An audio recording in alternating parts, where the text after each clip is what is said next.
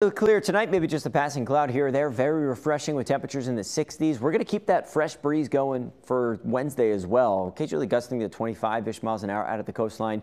Bit windier or blustier down across the Outer Banks and the eastern shore, but very comfortable. Even with the added clouds, we're going to see temperatures in the upper 70s here for Wednesday. Very nice early fall-like weather on tap for us. The ocean breeze continues through Thursday. Maybe a few offshore showers move onshore, but rain chances pretty slim all the way through Friday. Maybe just a shower here or there. Better chance of rain coming with a cool front Saturday. Some scattered showers will then reset the refreshing weather Sunday into early next week.